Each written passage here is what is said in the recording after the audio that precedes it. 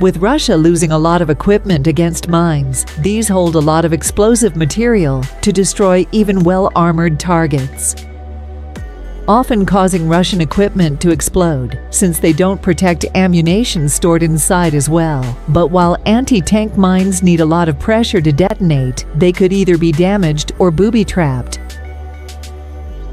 Seen as these Russian soldier went out from a tank to try and remove a mine.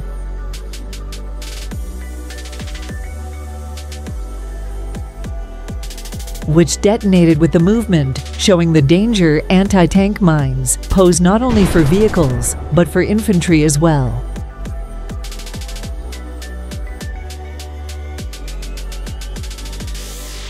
That's all I had for this video. Please like and subscribe for more thanks for watching. Bye.